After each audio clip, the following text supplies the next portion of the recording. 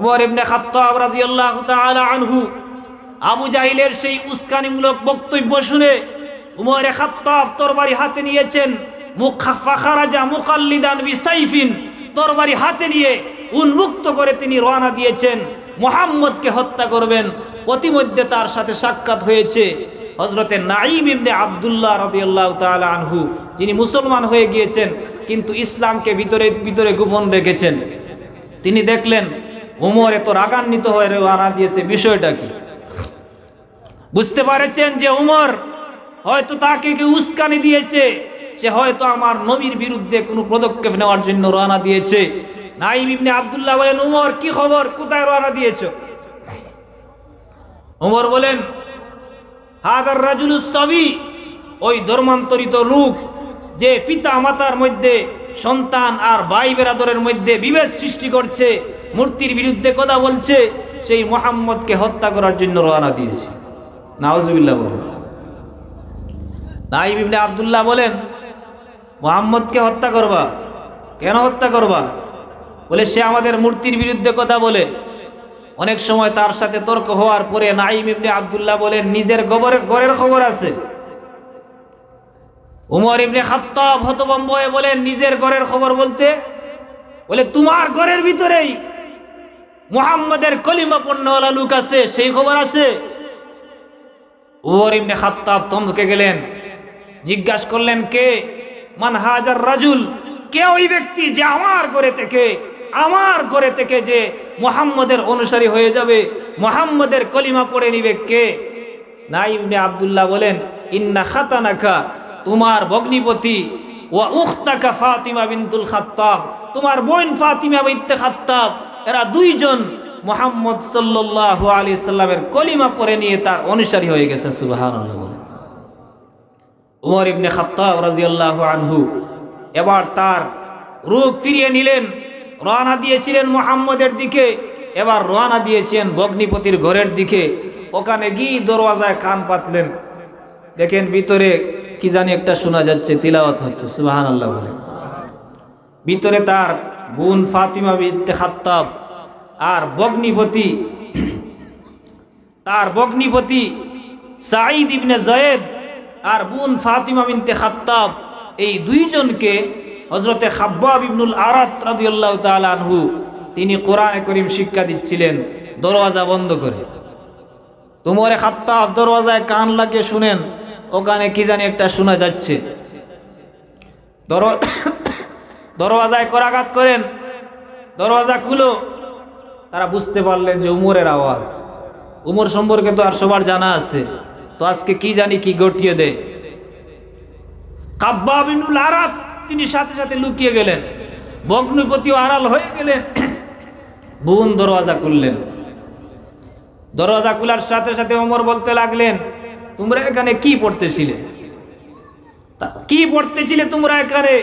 আমার কাছে সংবাদ এসেছে, তোমরা ধর্মান্তরিত হয়ে গেছে বলে নাউজুবিল্লাহ। এই বলে তিনি বগ্নিপতিকে সামনে পেয়ে তাকে একটা তাপ্পর বসিয়ে দিলেন। নাউজুবিল্লাহ বলেন। তাকে আঘাত করতে লাগলেন। বোন দূর দিয়ে এসেছেন তার স্বামীকে রক্ষা করার জন্য। এবার বোনকেও তিনি আঘাত করতে করতে রক্তাক্ত করে ফেললেন। যখন বোনকেও রক্তাক্ত করে রক্তাক্ত করে ফেলেছেন, ভগ্নিপতিকেও তিনি আঘাত করতে করতে ধরাশয়ী করে ফেলেছেন।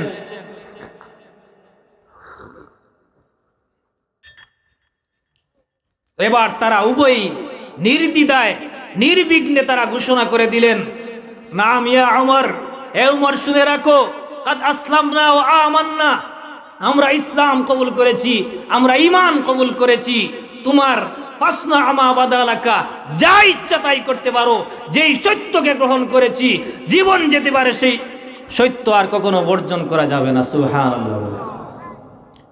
উমর যখন তাদের এই দৃঢ়তা দেখতে পেলেন এদিকে বোন রক্তাক্ত হয়ে গেছে, তার অন্তর অন্তর নরম হয়ে আসলো। উমর রাজিউল্লাহ ভাবতে লাগলেন, আমার বোনকে আমি মেরে রক্তাক্ত করে ফেললাম। তার অন্তর নরম হয়ে আসলো, এবার তিনি বললেন আচ্ছা ঠিক আছে, তোমরা যা পড়ছিলে, আমাকে একটু দেখাও। উমরে খত্তাব রাজিউল্লাহ আনহুর এই কথা শুনে বোন বুঝতে পারলেন, তিনি নরম হয়ে আসছেন। তো বললেন, তোমাকে তো এটা দেখানো যাবে না দেখতে হলে আগে তুমি পবিত্র হতে হবে। ইন্নাকা রিজসুন ওয়ালা ইয়ামাসসুহু ইল্লাল মুতাহহারুন এটা একটা পবিত্র কালাম, আল্লাহর কালাম। আর তুমি এখনও শিরিকের অপবিত্র দ্বারা অপবিত্র রয়ে গেছো, তোমার হাতে এটা তুলে দেওয়া যাবে না। উমর খাত্তাব বলেন, তাহলে কি করতে হবে? তোমাকে আগে পবিত্র হতে হবে, গোসল করতে হবে অজু করতে হবে, এরপরে তোমার হাতে দেওয়া যাবে বলেন সুবহান উমরে খাত্তাব তাই করলেন। তিনি পবিত্র হয়ে আল্লাহর কালাম পাওয়ার জন্য উদ্গ্রীব হয়ে বোনকে বললেন, আমার হাতে দাও। তখন বোন তার হাতে যখন এই পবিত্র কোরআনের এই অংশটা, সুরায় তহার প্রথম অংশে আয়াতগুলা তার সামনে তুলে ধরলেন, উমরে খাত্তাব রাদিয়াল্লাহু আনহু এই সুরার এক একটা আয়াত পাঠ করেন, আর তিনি ভাবনার গভীর জগতে প্রবেশ করতে লাগলেন, আর ভাবতে লাগলেন, কোন জগতে এতদিন ছিলাম? আর এই কালাম আমাকে কোন জগতের দিকে নিয়ে যাচ্ছে বলেন সুবহান উমরে খাত্তাব, তিনি তো আরবি ভাষা জানেন, আরবি ভাষার মর্ম জানেন, সবই জানেন। এই সুরার এক একটা আয়াত এক একটা অক্ষর, তার ভিতরে আল্লাহর কালামের গভীর মর্মগুলা ঢুকিয়ে দিতে লাগল। এক একটা অক্ষর, তার ভিতরে ইমানের নূর ঢুকিয়ে দিতে লাগল, আর কুফুরির অন্ধকার বের করতে লাগল সুবহান উমরে খাত্তাব রাদিয়াল্লাহু তাআলা আনহু বোনের কাছ থেকে আল্লাহর কালামের সেই অংশ সুরায় তাহার এই প্রথম অংশের আয়াতগুলা তিনি নিয়ে পাঠ করতে লাগলেন। তাহা মা আনজাল্লা আলাইকাল কুরআন লিতাশকা। উমরে খাত্তাব রাদিয়াল্লাহু তাআলা আনহু আল্লাহর কালামের সেই অংশ পাঠ করতে লাগলেন, আর এক একটা অক্ষর পড়েন। আর তার অন্তরের মধ্যে এক একটা অক্ষরের রোহানি ধাক্কা লাগে। ইমানের পাওয়ার অন্তরের মধ্যে ঢুক শুরু হয়েছে, কুফরি বের হওয়া শুরু হয়েছে। উমরে খাত্তাব রাদিয়াল্লাহু আনহু আয়াতগুলা পাঠ করে তিনি ভাবতে লাগলেন, এই তো আল্লাহর পক্ষ থেকে সরাসরি আমাকেই সম্বোধন করা হচ্ছে, সুবহানাল্লাহ বলে। মুফাসসিরিন একরাম লেখেন, তাহার প্রথম অংশের একটা ব্যাখ্যা হচ্ছে, তাহা মানে ইয়া রাজুল, হে ব্যক্তি। উমরে খাত্তাব ভাবতে লাগলেন, আল্লাহ রব্বুল আলামিন আমাকে সম্বোধন করে বলছেন, হে আমার বান্দা, মা আনজাল্লা আলাইকাল কুরআন লিতাশকা এই কোরআন আমি তোমাকে জন্য নাজিল করি নাই। কোরআন দুনিয়াকে জন্য আমি, দুনিয়াতে এই জন্য আমি পাঠাই নাই। যে এই কোরআনের মাধ্যমে তোমরা কষ্টের জীবনে পড়ে যাবে, তোমরা কষ্টের মধ্যে লিপ্ত হয়ে যাবে। বরং না না, কোরআন তোমাকে জন্য দেই নাই। কোরআন কেন দিয়েছি? ইল্লা দুনিয়ার জমিনে আমার যেই সমস্ত বান্দারা, আমি আল্লাহকে ভয় করে, যেই সমস্ত বান্দারা জাহান্নাম থেকে বাঁচতে চায় যেই সমস্ত বান্দারা আমি আল্লাহর গজব থেকে বাঁচতে চাই, ওই সমস্ত বান্দারা কীভাবে বাঁচতে পারে? সেই পথ দেখানোর জন্য, সেই উপদেশ দেওয়ার জন্য, সেই নসিহত করার জন্য এই কোরআন আমি পাঠিয়েছি। তানজিলাম মিম্মান খালাকাল আরদা ওয়াস সামাওয়াতিল উলা। মক্কার কাফিররা অপবাদ চড়াচ্ছে এই কোরআন নাকি মুহাম্মদের বানানো? উমরে খাত্তাবের সামনে কোরআনের আয়াত রব্বুল আলমিন বলছেন, না না তাংজিলাম মিম্মান খালাকাল আরদা ওয়াসসামাওয়াতিল উলা। এই কোরআন মুহাম্মদের বানানো না, কোরআন আমি সেই সত্তা পাঠিয়েছি, যেই সত্তা সাত আসমানকে এইভাবে উঁচু করে রেখেছি, যেই সত্তা জমিনকে সৃষ্টি করেছি, আমার পক্ষ থেকে সেই কোরআন এসেছে, সুবহানাল্লাহ বলেন। আর রহমান আলাল আরশ ইস্তাওয়া। সেই সত্তা এত দয়াবান সত্তা, এত দয়াবান সত্তা, তার চেয়ে দয়াবান কেউ হইতে পারে না। তিনি হচ্ছেন রহমান। সেই সত্তা সবার উপরে, আলাল আরশ ইস্তাওয়া, তার আরশ সবার উপরে, সেই সত্তা সবচেয়ে বেশি মহান। সুবহানাল্লাহ। ওমরে খাত্তাব রাদিয়াল্লাহু আনহু, তাহার এইভাবে এক একটা আয়াত পড়েন আর তার ভিতরে কোরআনের মর্মগুলা কাটতে লাগেন। এক একটা আয়াত পড়েন আর ভিতর থেকে কুফরির অন্ধকার বের করতেছেন। এইভাবে পড়তে পড়তে তিনি শেষ পর্যন্ত বোনকে বলেন, ও বোন, শুনিয়া রাখো, আর দেরি করা যায় না। উমরে খাত্তাব রাদিয়াল্লাহু আনহু প্রস্তুত হয়ে গেছেন, আল্লাহর রসুলের দরবারে যাবেন। তিনি এইভাবে নরম হয়ে কোরআনের এই বাণী শুনে উমরে খাত্তাব রাজিয়াল্লাহু আনহু তার অভিব্যক্তি পেশ করে বলতে লাগলেন, কুর্তুবী শরীফের ভিতরে উল্লেখ করেন, উমরে খাত্তাব বলেন, মা আহসানা কালাম আকরামা, কতই না উত্তম সেই কালাম, কতই না মর্যাদাবান সম্মানিত সেই কালাম। উমরে খাত্তাবের এই অভিব্যক্তি শুনে ভিতরে লুকায়িত ছিলেন খাব্বাব ইবনুল আরাত রাজিয়াল্লাহু আনহু।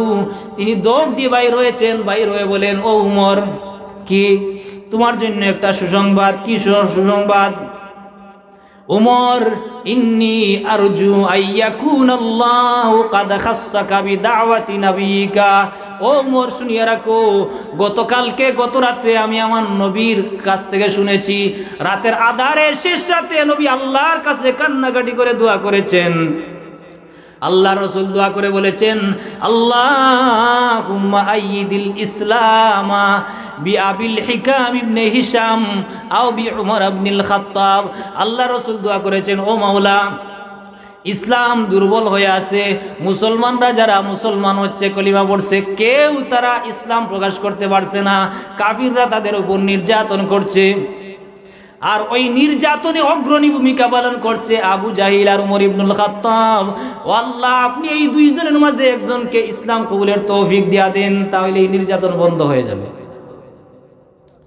উমর খাব্বাব ইবনুল আরাত বলেন ওমর আমার দিল সাক্ষী দিচ্ছে, রব্বুল আলামিন তার নবীর সেই দোয়া তোমার হকে কবুল করে নিয়েছেন। উমর ইবনে খাত্তাব বলেন, ও খাত্তাব, ও খাব্বাব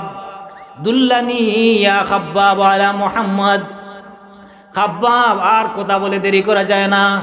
আমাকে আগে মোহাম্মদের কাছে নিয়ে যাও। আসলামা। মোহাম্মদের কাছে গিয়ে আমি, তার কাছে গিয়ে আমি আগে ইসলাম কবুল করি, এরপরে অন্য কথা।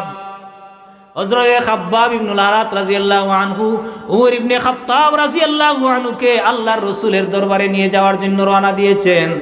উমর ইবনে খাত্তাব আল্লাহর রসুলের দরবারে উপস্থিত হবেন। সাহাবায়ে কেরাম দূর থেকে দেখেন উমর ইবনে খাত্তাব তরবারি উন্মুক্ত করে ওদিকে আসছে।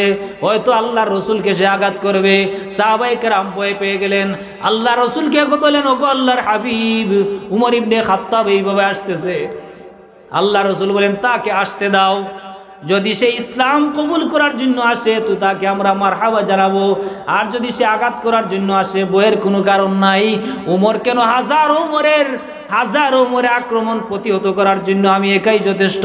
সুহান আল্লাহ আল্লাহ রসুলের গায়ে আল্লাহ রসুল তো কাউকে আক্রমণ করেন নাই, কিন্তু আল্লাহ রসুলের গায়ে অন্তত কয়েক হাজার যুবকের শক্তি ছিল সুবহান উমর ইবনে খাত্তাব রাজিয়াল্লাহু আনহু আল্লাহ রসুলের দরবারে গিয়ে উমর ইবনে খাত্তাব বলেন, ইয়া রাসূল আল্লাহ অনেক দেরি হয়ে গেছে, ইসলাম কবুল করব। সুবাহ শেষ পর্যন্ত তিনি ইসলাম কবুল করে নিয়েছেন।